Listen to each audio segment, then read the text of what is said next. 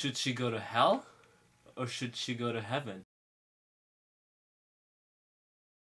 He said she's going to heaven. How can that be true if she committed suicide? Just because.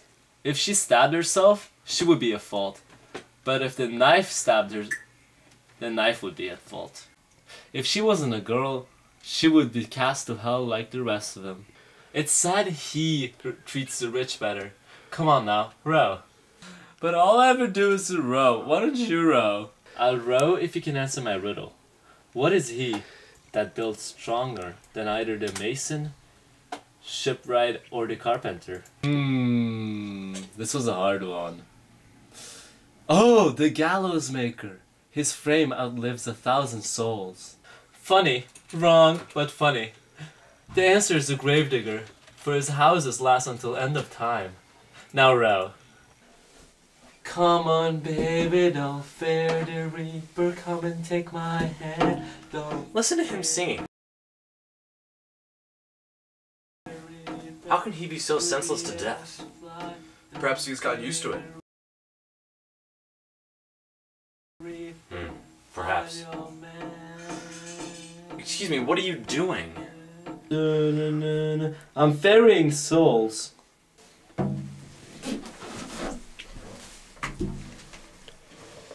Well, whose soul is this? Mine as I'm holding it. Surely the soul can't be yours if you stand here before me. One can possess more than one soul. Well, then who else owns this soul? The soul belongs to no man. A woman, then? Alas, no. To whom does it belong, then?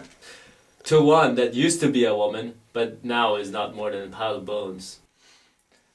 Since when did death become so literal? You know, I've been noticing for quite some time now that those demons have become ever more witty and clever. They begin to pester us from heaven with snide little remarks. Tell me this. How long do souls usually spend in your boat? Well, it depends on the person, really. It's usually a long time. Longer if you're a tenor. Why longer? Because I don't like them.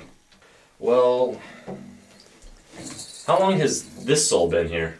Well, I don't even know. I'm pretty bad with numbers. Um, it belonged to an entertainer, banished from heaven. His name was Quigley.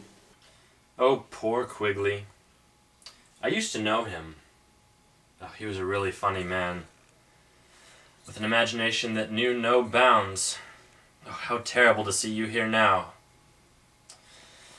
Oh, I remember how you used to make the halls of heaven itself light up with laughter, but now, nothing.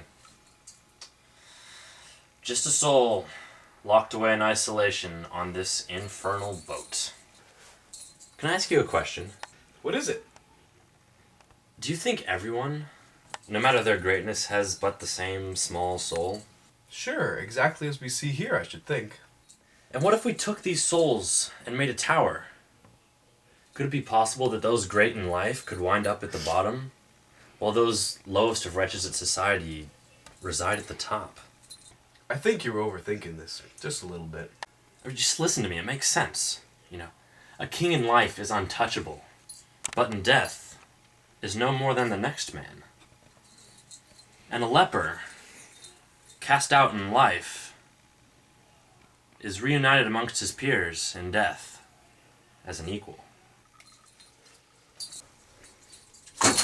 As much as I enjoy this philosophy session, I have a schedule to keep. I have to speak to one of the lords about this particular soul. Now, if you excuse me, I have to leave.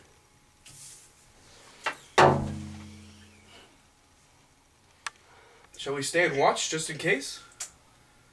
We shall, we shall.